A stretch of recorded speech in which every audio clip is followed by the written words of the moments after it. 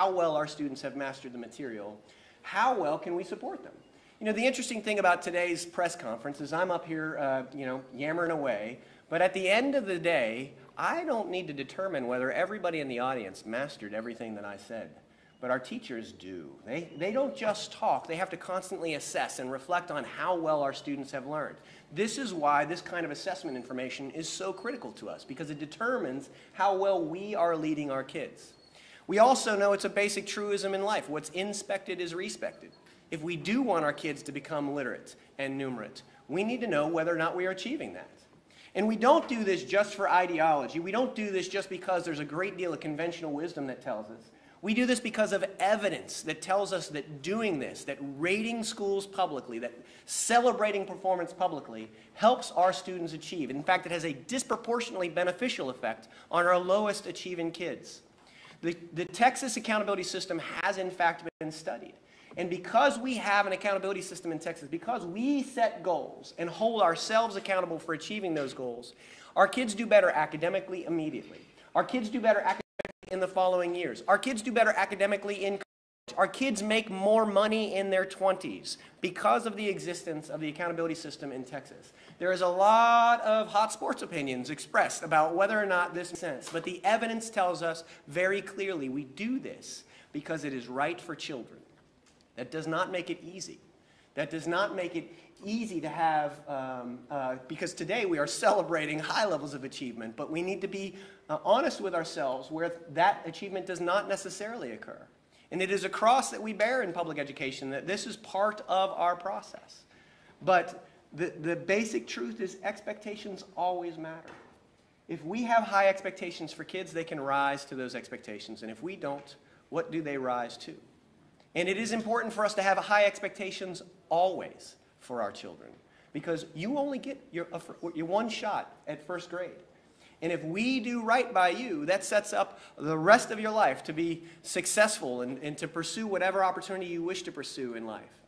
And if we have failed you in first grade, it is incumbent upon us to see that, to know that, to reflect on it, and to get better. We, we don't live in a utopia. We don't live in a world where perfection is always achieved. But we use this information to reflect on what we have accomplished and, and then decide how can we improve matters going forward. And when you think coming out of COVID, hey, shouldn't we take the brakes off? Shouldn't we, shouldn't we no longer uh, focus on student performance given all of the disruptions of COVID? And, and the thing is, again, our kids are only in first grade once. So we either give them our best and hold ourselves accountable to that, or, or else. And so we are, in fact, uh, reflecting on performance statewide, even coming out of COVID. Now, probably the years. And so it is important for us to make adjustments. We want to set goals, and the goals should stretch us as adults.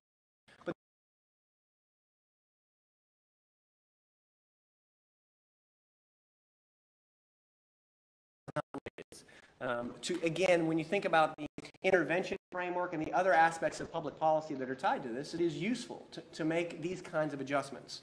But we still need to know, and we still need to reflect on performance. So how did we perform statewide? Look, if you go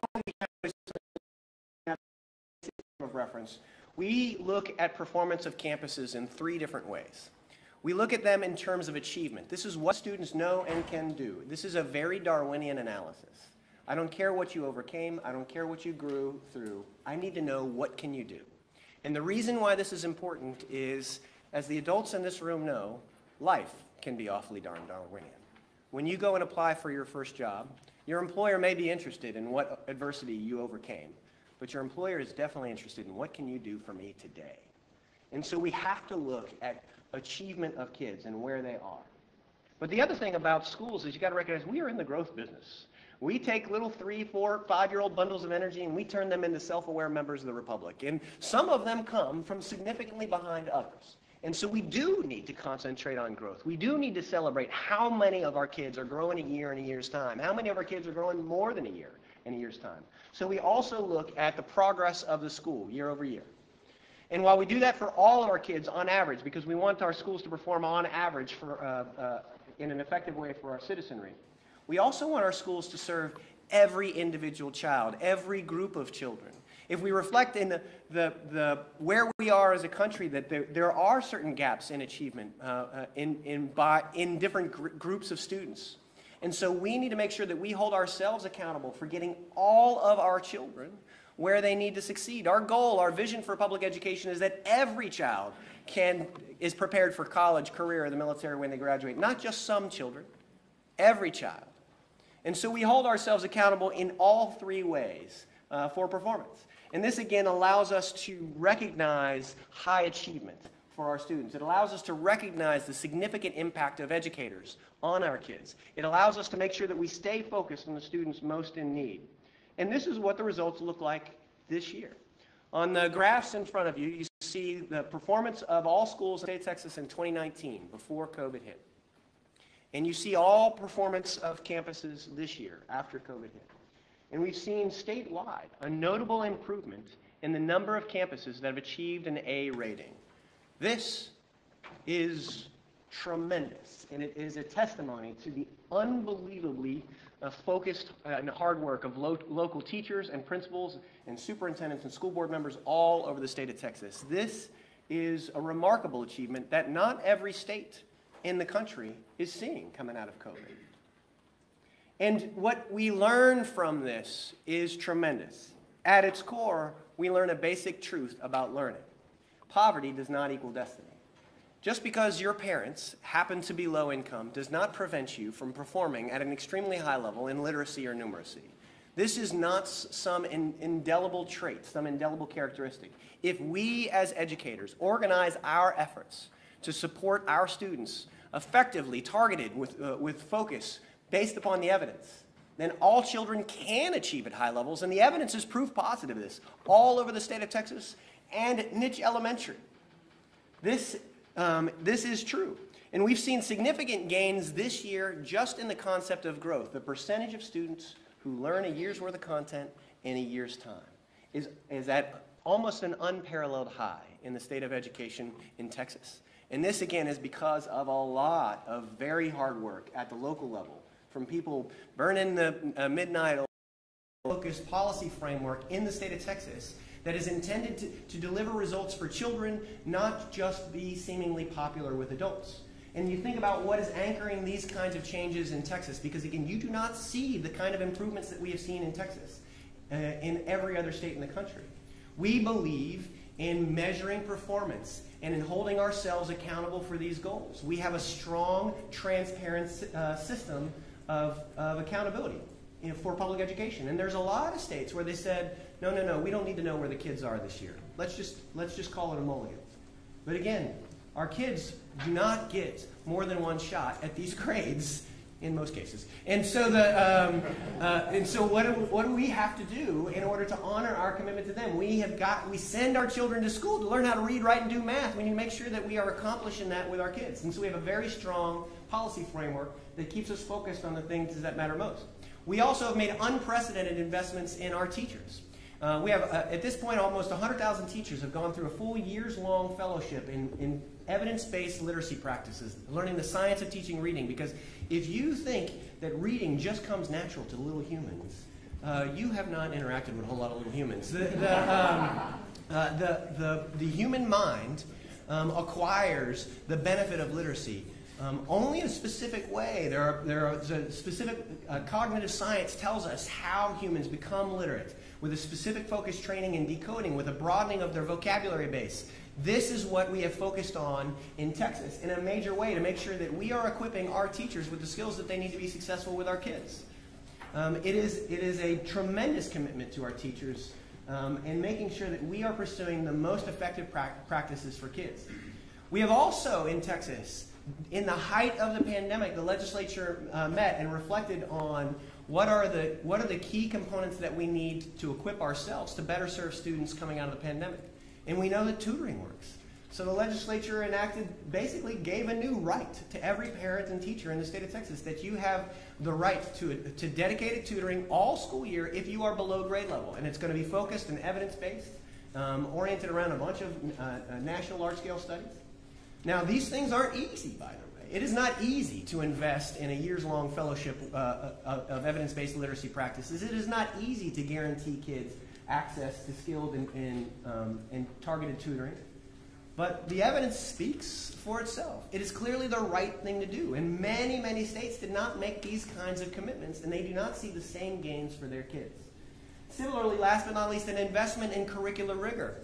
Our kids are reading content. We want to make sure that that is engaging, that that is, that is uh, growing their vocabulary, that it is rich. Uh, that is what uh, we, as, as, I, as a dad, want my kids to learn while they're in school. So we made significant investments in curricular rigor all over the state of Texas. Again, these are unique features of the policy landscape affecting schools all over the state of Texas.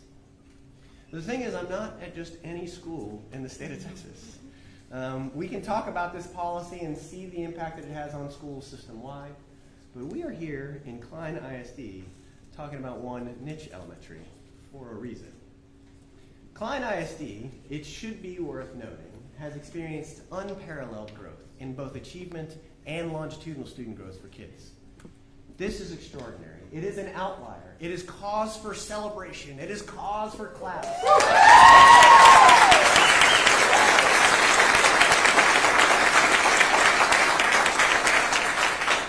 Went from uh, nine campuses that were A-rated pre-pandemic to 15 campuses A-rated post-pandemic. Uh, not a single D or F campus before, not a single D or not rated campus this year. The, the level of performance improvement is uh, extraordinary. And that doesn't just happen, folks. It happens because you have extraordinarily skilled leadership here locally that is not just doing that is not doing what is popular they're not deliberately unpopular they're doing what is right. Uh, they're, they are, they're saying this is what the evidence tells us. Um, so you can have all your hot sports opinions all you want but we are going to do what our kids require us to do. We are going to be focused. We are going to manage with love and compassion because this is what schools do but we are going to manage with high expectations and with evidence. And it's, it's incredible uh, when you see the growth of Klein but let's talk about Nitsch in particular. And I'll, I'll do a little, my best Vanna White here. Turn uh, Nitsch elementary.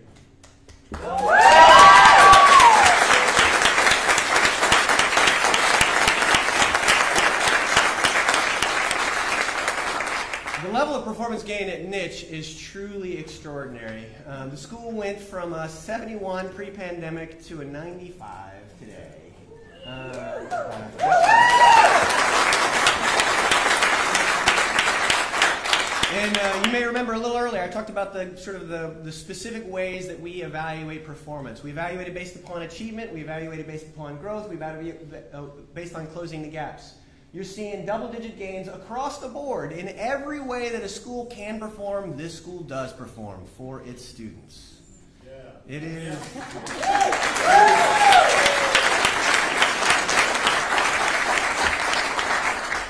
If you look at the increase in student achievement, remember student achievement is what the kids know or can do, not just how much they grew in a year, but what can they know, what can they do. This school had the third highest increase in student achievement of all elementary schools in the state of Texas.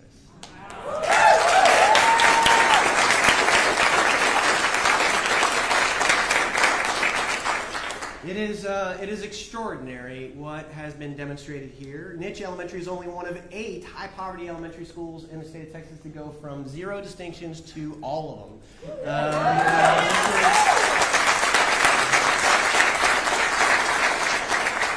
just in case you're curious, a distinction designation, uh, you earn that because you are distinct. This is a very important thing. This is, a, this is, this is high levels, high levels of performance. So I thought uh, I would uh, ask maybe those potentially most directly responsible to come and reflect on this last year. So if I can turn over to Dr. McGown.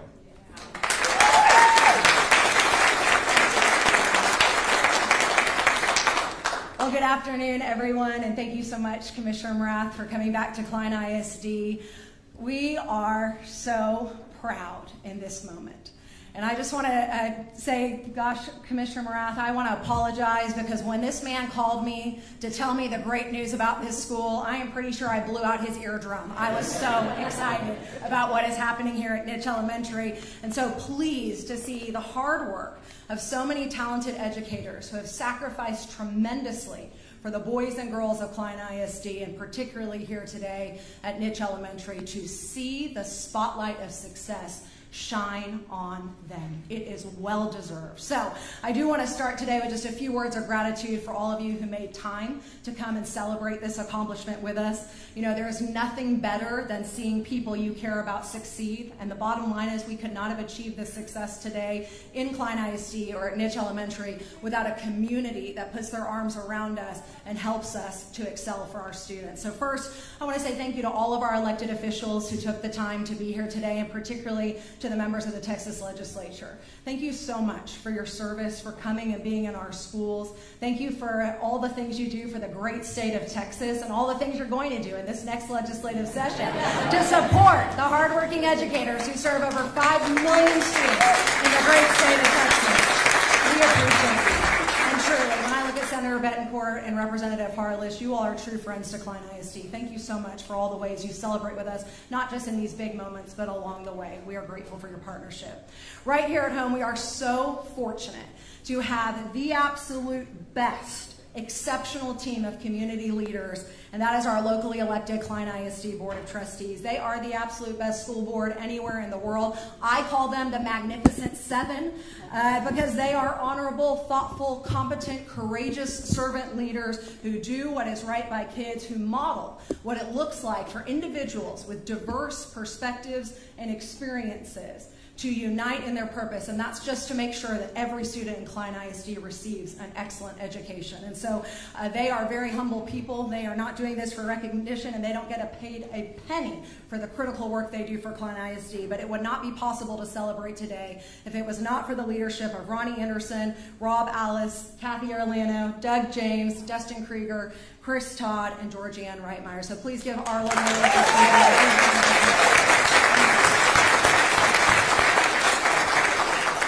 I read this morning that from the overflow of the heart, the mouth speaks. And so I want my heart to share words of gratitude and to speak those words of gratitude over the Klein family, and that's the 7,000 employees of Klein ISD who make the magic happen for our kids every single day. From our remarkable teachers to our counselors, school leaders, district support staff, to the cafeteria crew, the custodians, the bus drivers, we know that it takes every one of us showing up every single day, giving everything we have to deliver on our promise to every single student. The last few years have brought unprecedented challenges.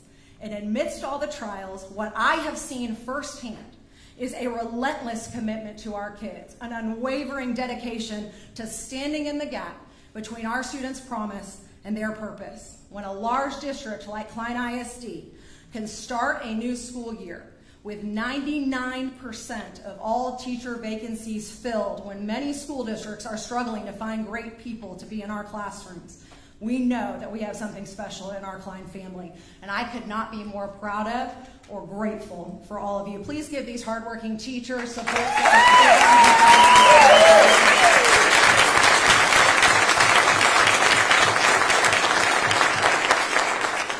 Well, three years ago, when I was given the great privilege to become the superintendent of Klein ISD, there was a vacancy for the principalship of Nitsch Elementary. At that time, and I know there are many of us who have known this school for many years. Nitsch was a school that struggled. It struggled to consistently perform academically. It struggled to believe that better outcomes for students were possible. It struggled to adequately support the hardworking teachers in the trenches who are giving their best every single day for our kids. I called up our board president at the time, Ms. Georgianne Reitmeyer, and I said, Georgianne, you're going to need to trust me on this one. And I reminded her that's where the word trust in trustee comes into play.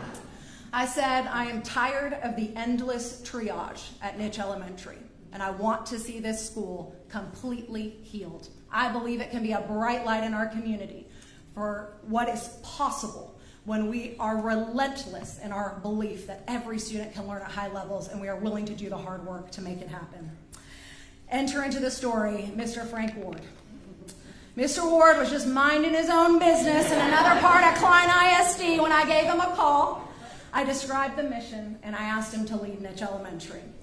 Thankfully, for the kids and the teachers and the families at Nitsch Elementary, Frank slept on it, called me the next day to accept the mission, and things have never been the same here since. No doubt, thoughtfully disrupting the status quo and writing a new story of hope and possibility at Nitsch has not been easy for Frank and his team. There have been long days and sleepless nights and far too many examples looming in the back of folks' minds of how kids in schools like Nitsch, where nearly all of the schools live in poverty, are destined to be educated in struggling schools. But today, Nitsch is no longer part of that tired narrative. Not only did the amazing educators and families and kids at Nitsch Elementary succeed in the state accountability system, earning that overall A, a perfect score of 100 in closing learning gaps, and all six distinctions, but in multiple system measures and indicators of success, including teacher retention, family satisfaction, and nationally normed student achievement data. The Nitsch students, staff, and community are far better off today than they were in 2019. Or, as one of our third grade teachers at Nitsch simply summed it up, hard work pays off. My heart is super happy. Leadership is the game changer in writing a better story for our kids. So please join me in welcoming the Klein ISD Elementary Principal of the Year, the difference maker in our midst, Nitsch Elementary Principal, Mr. Frank Ward.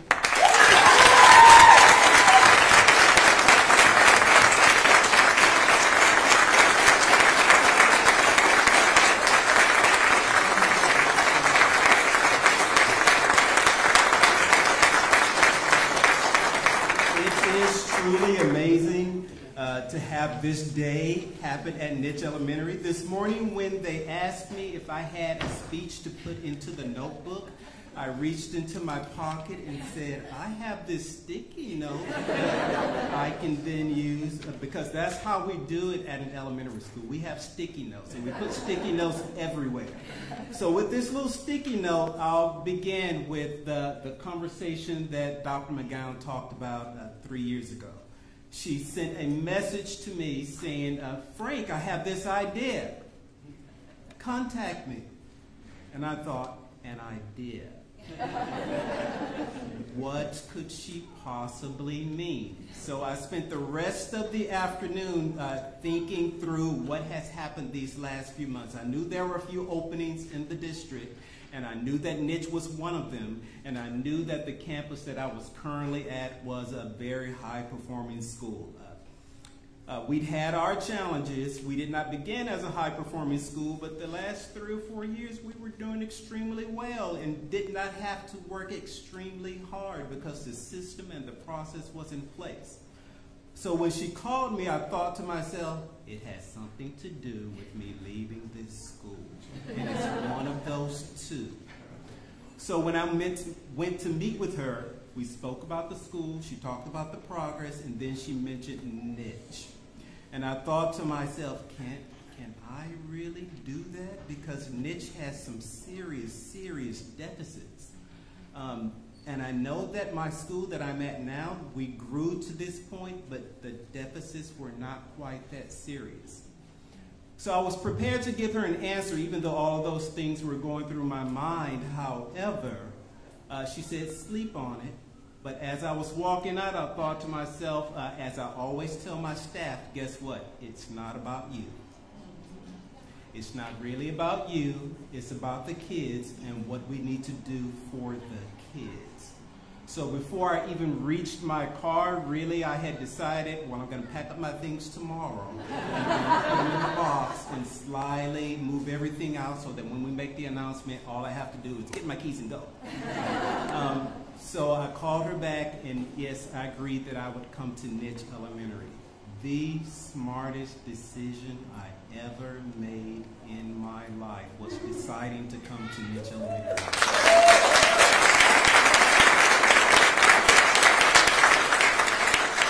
Right now, uh, as we stand here celebrating Nitsch's past success, right now, all around us, literally we're surrounded by it. Students are in their classrooms at this very moment learning all of the things that they need to learn for the start of the year.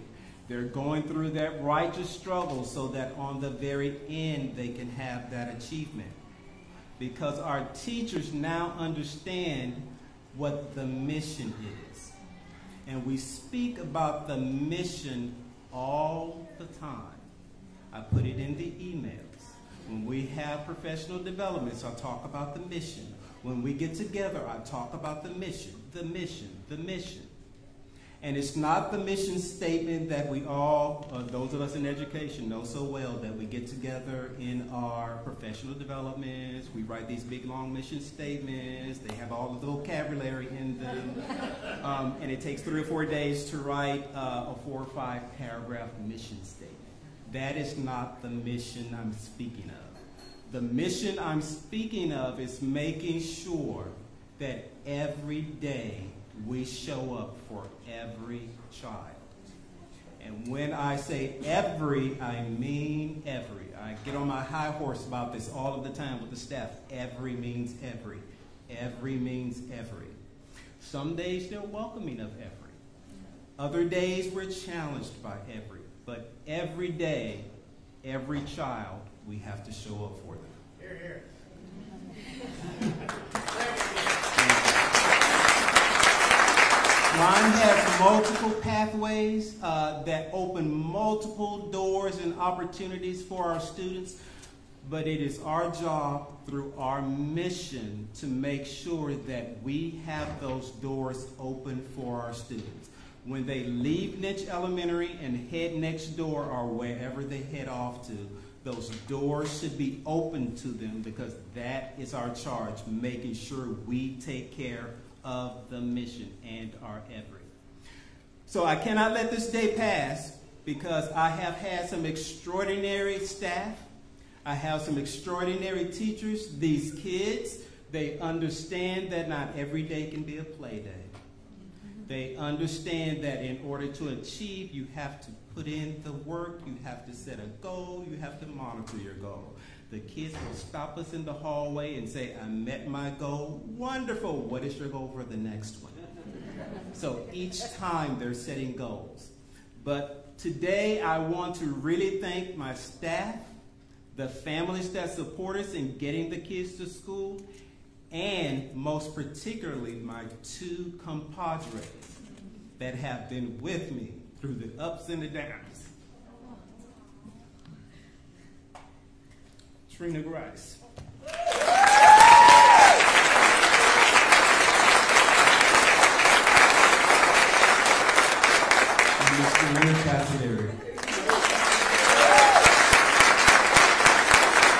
Ups and downs, all arounds. We spend lots of time in the afternoon planning, replanning, reassessing, making sure that it happens for Nitsch and also debating who's better, Monica or Brandy.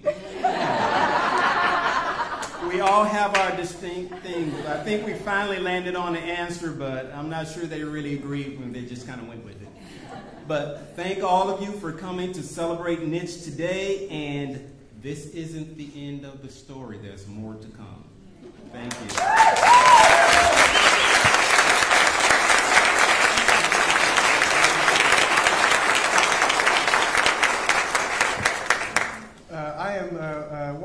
Intrigued at who's better, Monica or Brandy. But uh, um, uh, two, I am reminded now that um, we do have roles available at TEA. So in case any of you, uh, we all, we're always interested in the most effective team.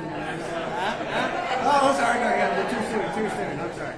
Yes, we thrive on having the best and brightest minds in public education. You can see it here with the staff at Nitsch.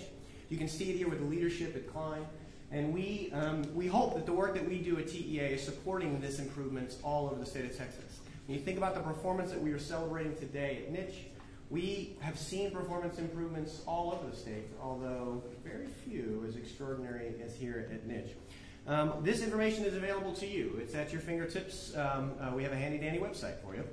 Uh, if you've never visited, you can go to texasschools.gov where we provide performance information available for parents, for teachers, for educators, school board members. I reflect as a former school board member myself one of the key questions I needed to answer for my own evaluation of our leadership team was, are our schools better, worse, or they staying the same?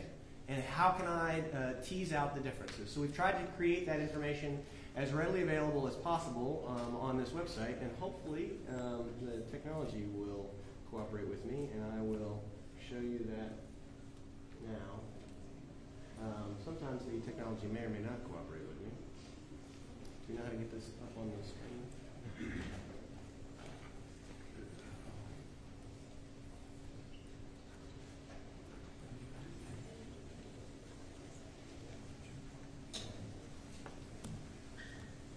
Well, while that's happening, so they, um, uh, again, we provide, yes, sir. I guess they just had to. We'll get Jenny some more money for internet. That's- that's right. We have multiple members of the Appropriations Committee here today. either more training for the TEA commission. It's not here. As I'm watching this, Uncle Paul is deciding as we watch.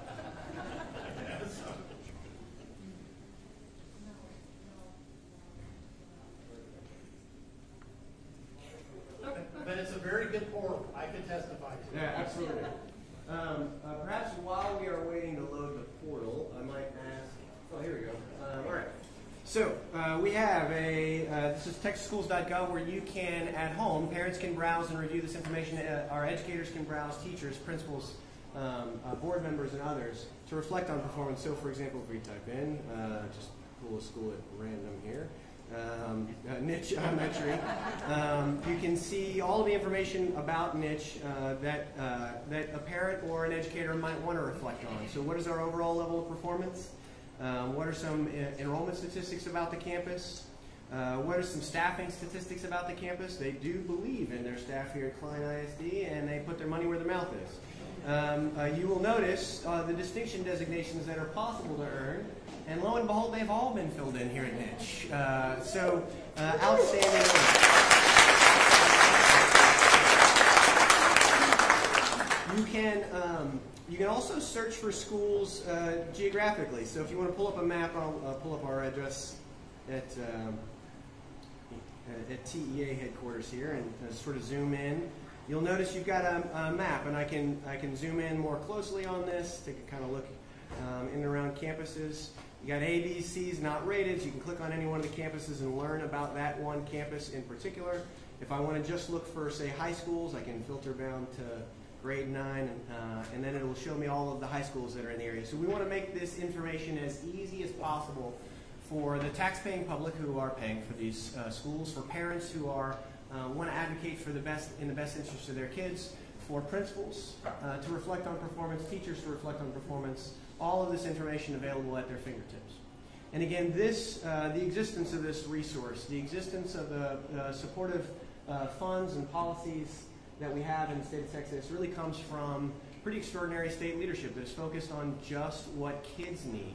When I think about the leadership again of, of um, Governor Abbott, of Lieutenant Governor Patrick, of Speaker Phelan, and of the leaders that we have here in the room, one in, uh, in particular, if I don't know if you all are cold call you here, but um, the, um, it's always uh, might have run this past them in advance.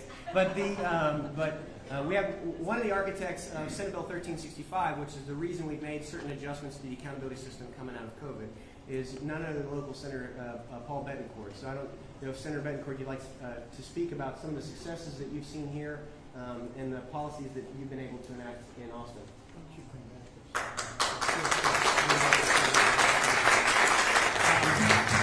I'd like to ask my three colleagues to join me, Sam, Brandon, and, and Harold, okay, to come on up too as well.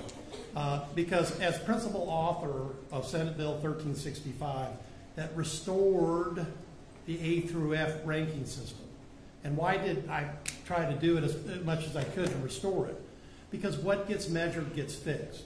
Now here at Nitsch Elementary, it's not just fixed, okay? Principal Frank and the compadres, okay? All right, when you look at this, these are incredible scores. They're not just distinguished, Mike, okay? As, you know, as, as a guy that's, that's, you know, bound to be hyperbole, it's great! It's unbelievable! Stand up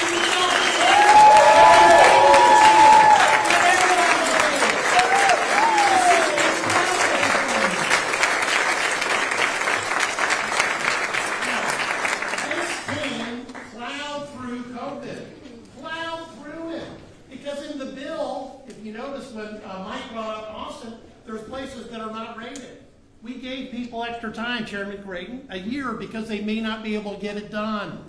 But not here in Nitsch. This is incredible. Okay? look at this important, look at this, Chairman Dutton, okay, over here.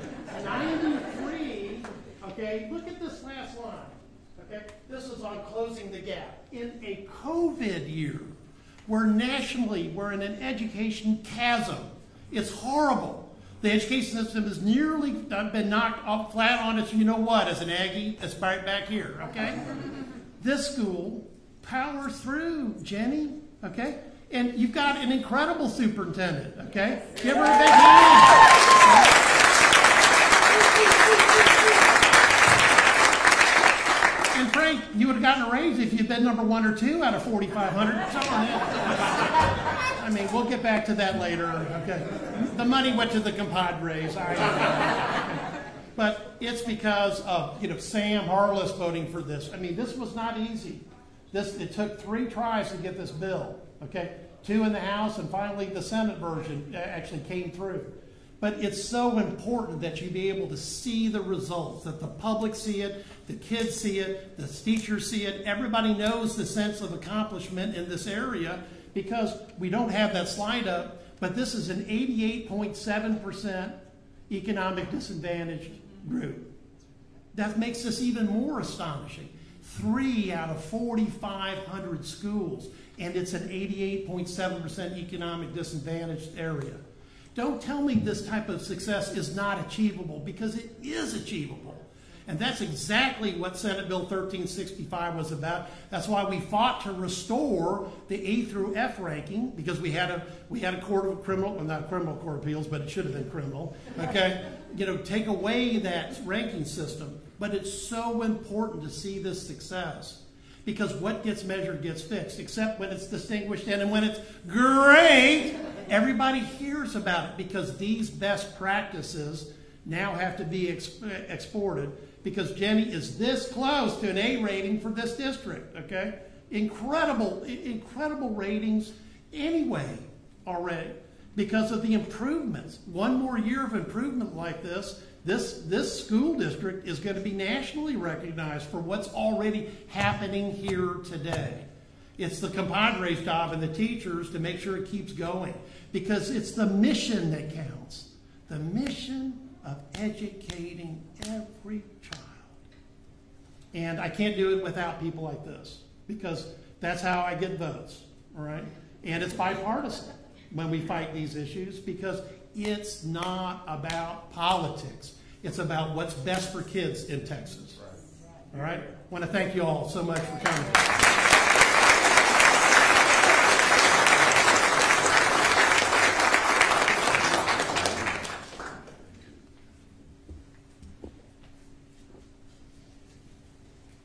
Well, thank you. For being here to celebrate the great performance at Nitsch Elementary. uh, appreciate the Course Correction Center. And um, uh, I think with that, we have a few uh, minutes for questions. Yes, ma'am. Hi there. Um, first of all, congratulations to Nitsch. Amazing achievement. Um, there are parents that are going to be watching this and, and they'll see their schools or their districts under the not rated category, and that will be concerning to them. So can you please just explain why, um, according to Senate Bill 1365, schools will not be given failing grades this year and when that will resume? We do try to provide transparent information to parents on where the performance landed. What we also, um, uh, the, the formal infrastructure of the law ties that into interventions from TEA. So what this allows us to do is to provide technical assistance, targeted grant funds to help improve performance in those schools, but not necessarily tie into formal um, sanctions or other interventions that that TEA um, uh, might otherwise um, be required to administer. So this does allow the degree of support for the school while providing, again, uh, more room for the, for the campus to continue to improve as we recover from COVID. So it, it essentially gives schools the chance to catch up i i from COVID disruptions and whatever else was before.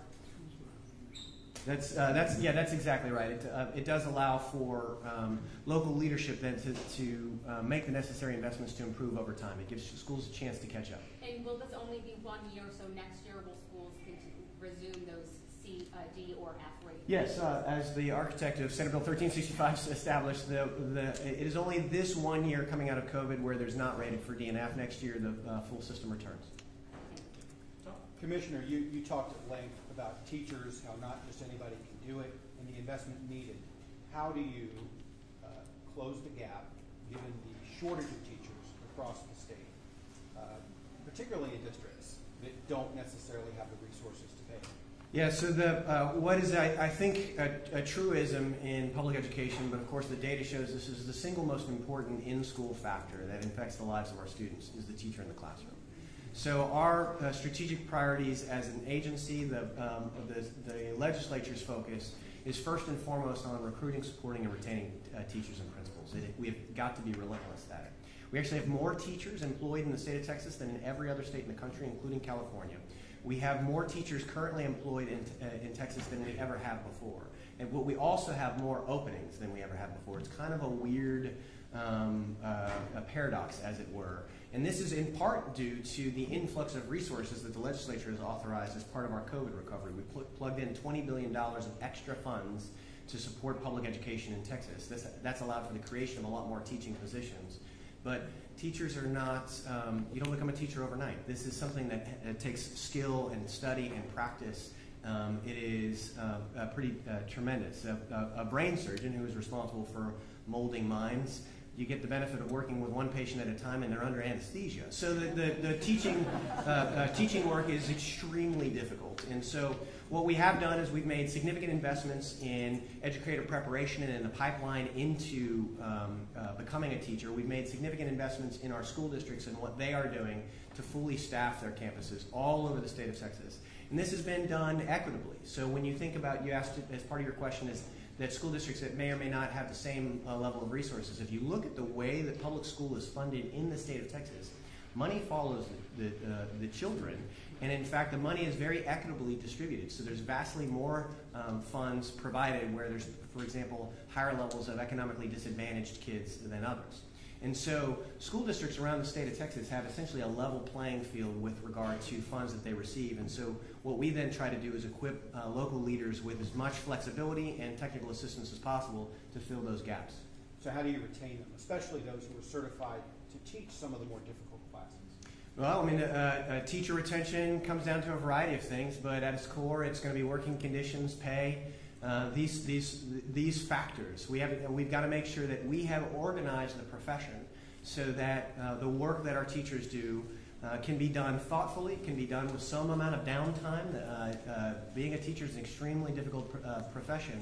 It requires the most cognitive skill, the most passion, the most energy. But we have got to do um, more in terms of equipping our teachers with effective curricular resources so they don't necessarily have to scour the internet to find uh, materials for uh, teaching kids. We provide solid training and we provide effective reflection time during the school day um, for them to uh, hone in on the craft and time for them to call parents. Um, uh, to review and reflect on assessment results. So this work of improving the working conditions for our teachers is critical, making sure that we support a positive disciplinary environment um, uh, similarly critical. And this is all part of the work that we do both strategically as an organization at TEA and major investments that the legislature has under multiple bills um, to improve the, the professional supports that we offer to teachers.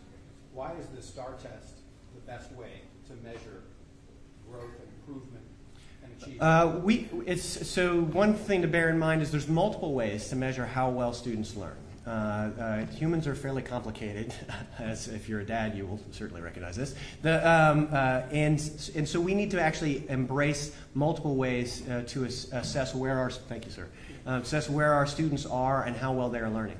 The STAAR test is the only assessment that has been built to align to our state content standards. So when you think about the curriculum that every school has to cover and that has to be covered in, uh, in all, for all kids regardless of their background, the STAAR test is the only test that's explicitly designed to measure that, uh, that statewide curriculum uh, that happens. And then we report on it in common ways so you can see an apples to apples comparison uh, about how individual kids are, are performing and, and, how, uh, and how schools are performing. As a dad, because I'm not just Commissioner of Education, so I got uh, four young kids, so I look at my kids' own uh, report card uh, uh, results, but I also this year looked at their STAAR scores at the end of the year, and I could see some gaps. I could see what the curriculum was covered, and then I can use that information um, to support my kid um, as a dad.